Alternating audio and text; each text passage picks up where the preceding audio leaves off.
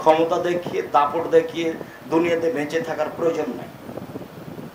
ক্ষমতা দেখিয়ে, দাপট দেখিয়ে, জমি জায়গা জাল করে, মানুষকে হত্যা করে, জেল জুলুম দিয়ে, জেল জুলুম করে মানুষের প্রতি অন্যায় অবিচার করে একদিন বেঁচে থেকে কোনো লাভ নেই। ফেরাউন ডুবে গেছে।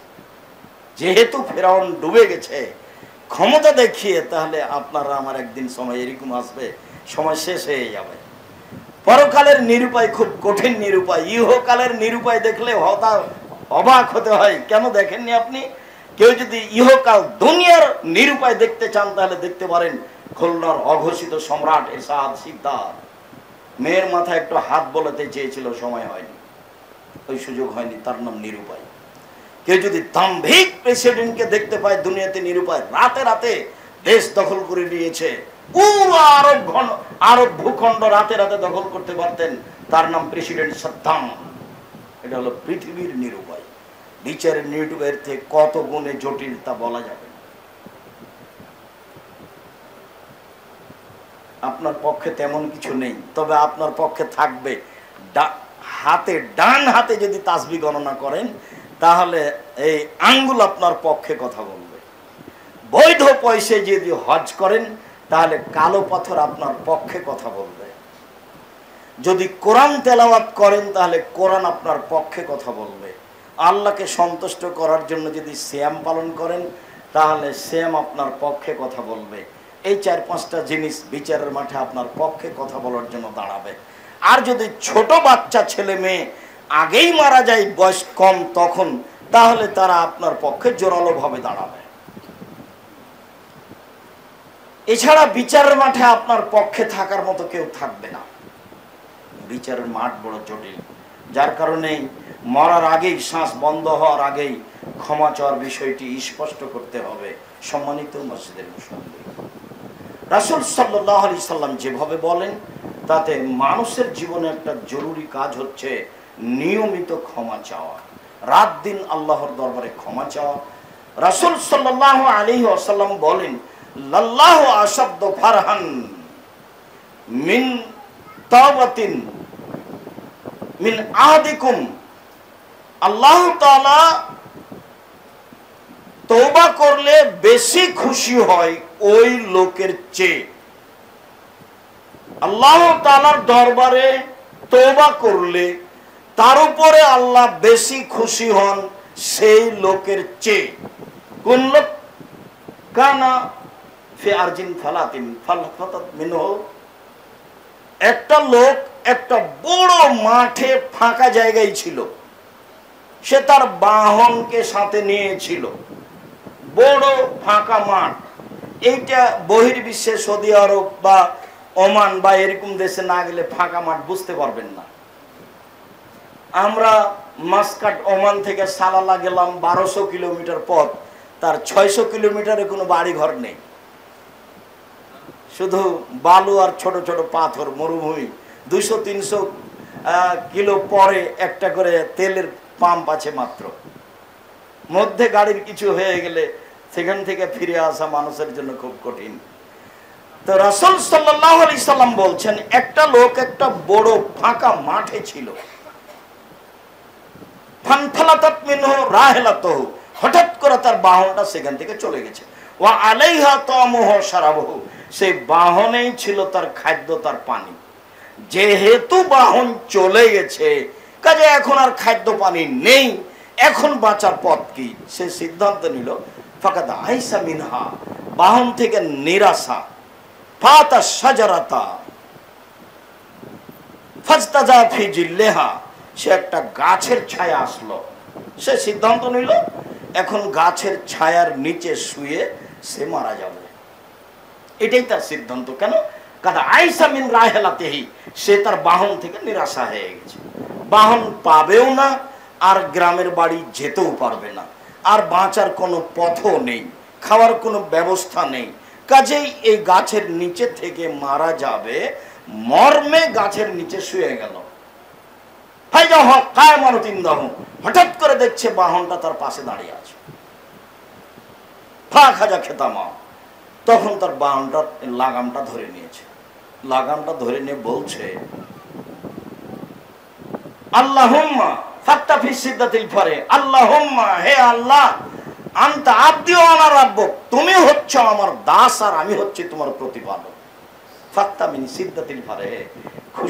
বাক্য উল্টে দিয়েছে।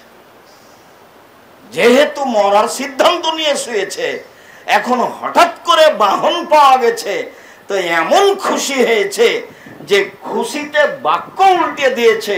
এ কথা মোহাম্মদ সাল্লাহ সাল্লাম বলেন, হাদিস বোখারি, মুসলিম। কি আপনার কাছে বিবেচনা?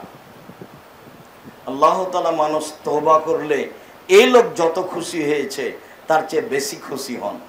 কই, মানুষ কি বলতে পারে? মানুষের স্বাভাবিক জীবনে নিয়ে আসতে হবে। চলাফেরাই উঠা বসাই খাওয়া সব সময় একটা বাক্য নিয়ে আসার চেষ্টা করতে হবে।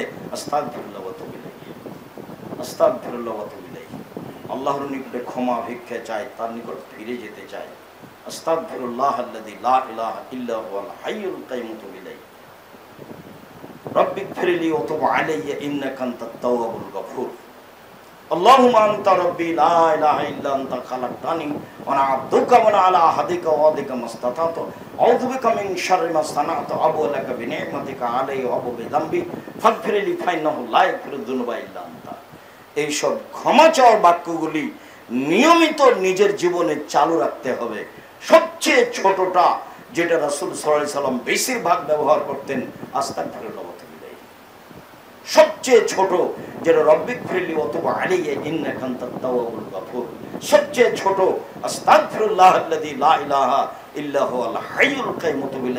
এই বাক্যগুলি ব্যবহার করতে হবে, যা রাসূল সাল্লাম নিয়মিত করতেন।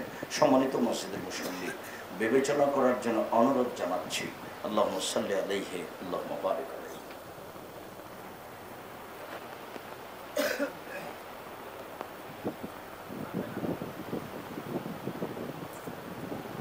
আলহামদুলিল্লাহ ওয়াহদা। মানুষকে জিজ্ঞাসা করার জন্য বের হয়েছে। সে তৌবা করে বাঁচার পথ খুঁজছে। কীভাবে বাঁচা যায়?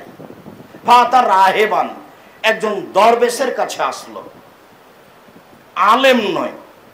রাহেব মানে যে তাসবি তাহলিল করে, জিকির আজকার করে, সে আল্লাহকে চিনে না।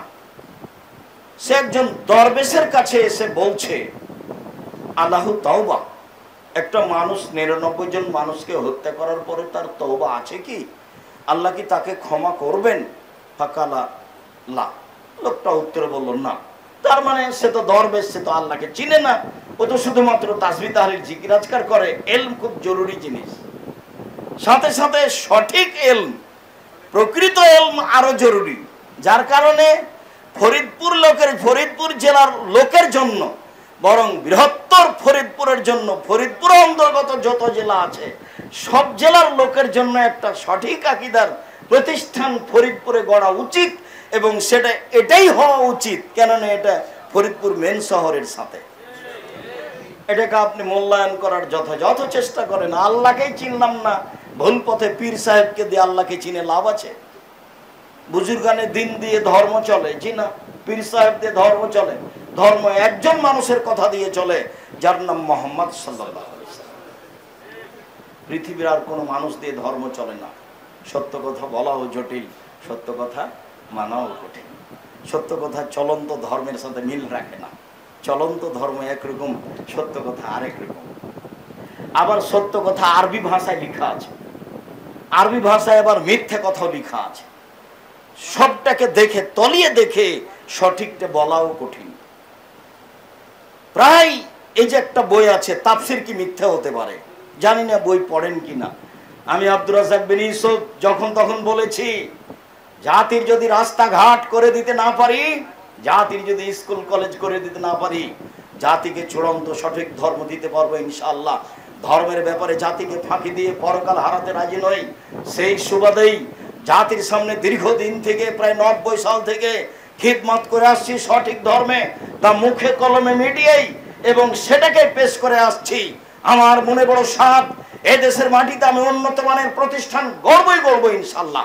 সেটাই জামিয়া সালাফিয়া, জামিয়া সালাফের মাধ্যমে এদেশের ছেলে মেয়ে বাংলা, ইংরেজি, আরবি উন্নত মানের শিক্ষা অর্জন করে জাতির অন্যায়ের বিরুদ্ধে লড়বে, মুখে কলমে মিডিয়াই শির বেদাতের বিরুদ্ধে লড়বে বানট মিথ্যে ধর্মের বিরুদ্ধে লড়বে, মুখে কলমে মিডিয়াই মুখে বলছি, ছেলেরা বলবে মিডিয়ার সামনে আছে, ধরা আছে, কলম আমাদের হাতে রেডি আছে, কলমও চলছে, কলমের এক নম্বর মাধ্যম আ- মাসিক আল ইতেসাম পত্রিকা প্রতি মাসে আপনি নিবেন, আপনি মনে করিয়েন না যে আমি বিশ ত্রিশ টাকা দিয়ে জামিয়া সালাফের কি উপকার করলাম, সেটা বিবেচনা আপনার পরে, আপনি পত্রিকা নিয়ে পড়বেন, পঞ্চাশটা প্রশ্নের উত্তর আছে, এটা আগে। জামিয়া সালাফের অধীনে যত বই পুস্তক আছে, সেটা যেটাই হোক, সেটা আমি সম্ভবপর মানুষ হিসাবে যথাযথভাবে তলিয়ে শির্ক, বেদাত মুক্ত করে, মিথ্যা কেসা কাহিনী মুক্ত করে বই পুস্তক বের করার চেষ্টা করেছি।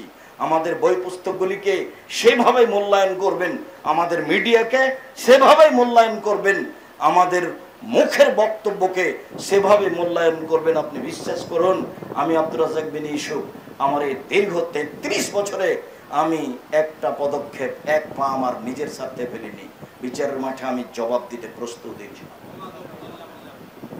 সম্মানিত দিনী ভাই বোন আমি বলছিলাম, আপনারা এই কথাগুলিকে যথাযথভাবে মূল্যায়ন করুন। লোকটি নিরানব্বইটা লোককে হত্যা করে একজন দরবেশের কাছে আসলো। দরবেশের জানা নাই। আল্লাহকে ও চিনে না। দরবেশ বলে বসল, নিরানব্বইটা লোককে হত্যা করে আবার বাঁচার পর তো ফাঁকা তালা তাকে হত্যা করেছে। এরপরেও জিজ্ঞাসা করছে, বাঁচার পথ কি? ফাকাল রাজুলুন ইতে কারিয়াতান কাদা কাদা। একটা লোক বলল, অমুক গ্রামে যাও। অমুক গ্রামের লোক আছে, আলেম মানুষ, তুমি তাকে জিজ্ঞাসা করতে পারো। তাহলে সে বাঁচার পথ খুঁজছে। ফাদরা কাহুল এখন তার সময় শেষ। মরণ চলে এসেছে। ফা না সাদরাহু এলাইহা যখন মাটিতে পড়ে যায়, তখন তার বুকটা বুকটাকে গ্রামের দিকে ঠেলে দিয়েছে। ঠেলে দিয়ে আল্লাহকে দেখাচ্ছে, আমার সময় হলো না, সেটা ভিন্ন কথা। তবে আমি তোমাকে খুঁজছিলাম ক্ষমার আশায়। আসলে এটা আমার লক্ষ্য উদ্দেশ্য। আমার বুকটা গ্রামের দিকে ঠেলে দিয়ে তোমাকে জানালাম যে আমি ক্ষমা চাচ্ছি। ফাক্তা সামা ফিহে মালাইকত রাহমা মালাইকতুল আজাবা এখন এই লাশ নিয়ে যাওয়ার ব্যাপারে, আত্মা নিয়ে যাওয়ার ব্যাপারে জাহান্নামের ফেরেস্তা এবং জান্নাতের ফেরেস্তা হইচই শুরু করেছে। তো আল্লাহ তালা বলছেন, থামো। ফাও আল্লাহ হাজির করিয়ে। আল্লাহ যে গ্রাম থেকে যাচ্ছিল, সেই গ্রামকে বললেন যে, তাকার রাবি, তুমি একটু কাছে আসো। আর যে গ্রামে যে গ্রাম থেকে যাচ্ছিল, সেই গ্রামকে বলল, তাবাদি, তুমি একটু পিছে হটে যাও। আর যে গ্রামের দিকে যাচ্ছিল, সেই গ্রামকে ওহি করে বলল, যে তাকার রাবি তুমি একটু কাছে আসো, আগে আসো। তারপরে ফেরেস্তাকে বললেন, কি সুমা বাইনা হোমা এই দুটা মেপে দেখো কত দূর আছে আর কত দূর বাকি আছে। মেপে দেখা গেল, কাদ জাহাবা কাদ জাহাবা এলাইহে বিশিবরি অর্ধ হাত আগিয়ে গেছে। ফাগফের আল্লাহ তাকে মাফ করা হলো। আপনি এটা কি মনে করছেন? হাদিস তো বোখারি, মুসলিম। আসলে মরার সময়তে বুকটা ওইদিকে ঠেলে দিয়ে আল্লাহকে দেখিয়ে যে আমি ক্ষমা চাচ্ছি। এইটুকু আল্লাহর কাছে পছন্দ হয়েছে। যার কারণে আল্লাহ তালা এটা করছেন। আল্লাহ তো জানছেন বাস্তব ঘটনা কি। এমনি তো মাফ করে দিতে পারেন, কিন্তু আমাকে আর আপনাকে দেখানোর জন্য পর্যন্ত এই দৃষ্টান্ত মানুষের কাছে রেখে দেওয়ার জন্য আল্লাহ বলছেন, দেখো, জড়বস্তু আমার কথা মানে আমি গ্রামকে বললাম, সরে যাও। আমি গ্রামকে বললাম, আগে আসো। আবার ফেরেস্তাকে বললাম, মেপে দেখো। সব রহস্য আল্লাহর জানা আছে। মেপে দেখা গেল, গ্রামের দিকে অর্ধ হাত আগিয়ে গেছে, ক্ষমা হয়ে গেল। মানুষকে আল্লাহ দেখালেন, রাসুল সাল্লাহ এই ঘটনা পেশ করে দেখালেন। দেখো মানুষ পাপ হয়ে গেছে নিরাশার কিছু নয়। তুমি আল্লাহর কাছে ক্ষমা ভিক্ষে চাও। আল্লাহ ক্ষমা করার জন্য প্রতীক্ষমান রয়েছে। সম্মানিত মসজিদের মুসল্লি, দিনী ভাই বোন আসলে জড়বস্তু আল্লাহকে মানে আদম সন্তানই মানে না। জড়বস্তু আল্লাহর কথা মানে আল্লাহর সিদ্ধান্ত গ্রহণ করে, কিন্তু আদম সন্তানই গ্রহণ করা প্রয়োজন মনে করে না। জড়বস্তু যে আল্লাহর কথা মানে এই যে দেখেন, গ্রামকে আল্লাহ বলছেন, পিছে হটো। গ্রাম একটা জড়বস্তু, পিছে হটে গেল। গ্রামকে বললেন, আল্লাহ যে একটু আগিয়ে আসো, একটু আগিয়ে আসলো। দেখেন, জড়বস্তু আল্লাহর কথা মানে যখন ইব্রাহিমকে আগুনে ফেলে দেওয়া হলো আল্লাহ বললেন, ইয়া নার কুনি বারদাম ও সালামা। আগুন তুমি শীতল হয়ে যাও। আগুন ঠান্ডা হয়ে গেল। শীতল যাতে ইব্রাহিমের কোনো সমস্যা না হয়। দেখেন জড়বস্তু আল্লাহর কথা মানে। আদেশ মাত্র। এরকম ঘটনা আরেকটা আছে, যে একটা পাপী মানুষ তার ছেলেদেরকে বলেছিল যে, আল্লাহ যদি আমাকে ধরতে পারেন, এত শাস্তি দিবেন, পৃথিবীর কোনো মানুষকে আল্লাহ এত শাস্তি দেননি।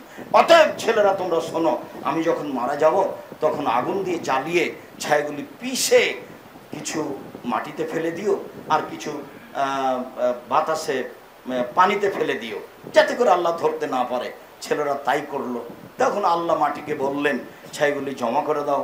আল্লাহ বাতাসকে বললেন ছাইগুলি জমা করে দাও। মাটি ছাই জমা করে দিল। বাতাস ছাই জমা করল এ দেহান মা, জড় বস্তু আল্লাহর কথা মানে। জড় বস্তু। সে একটা জড় পদার্থ। চলতে পারে না, হাঁটতে পারে না, কথা বলতে পারে না, কিন্তু আল্লাহর আদেশ পালন করছে কীভাবে? ইব্রাহিম আলাই ইসলামের ছুরিতে ধার ধার ছিল এই কথাই ঠিক। ইব্রাহিম আলাই ইসলামের ছুরির নিচে লোহা কিছু লাগানো হয়নি।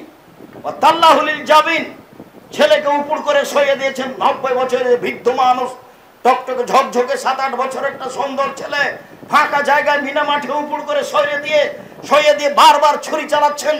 দর্শক মাত্র আল্লাহ, দেখছেন ফেরেস্তা নব্বই বছরের মানুষ বারবার ছেলের গলায় উপর দিক দিয়ে ছুরি চালাচ্ছে। এক পর্যায়ে আল্লাহ তালা বলছেন, ইব্রাহিম, কাদ সাত্তাক্তার রুয়া, ইব্রাহিম, তোমার স্বপ্নকে বাস্তবায়ন করেছ, তোমার ছেলেকে কুরবানি করতে হবে, এই ঠেকা আমার বাঁধেনি। আসলে দেখছিলাম তুমি আমার আদেশকে ফলো করতে পারো কিনা, পালন করতে পারো কিনা। ইব্রাহিম, তুমি আমার আদেশ পালন করেছ, তুমি পরীক্ষায় পাস করে গেছো।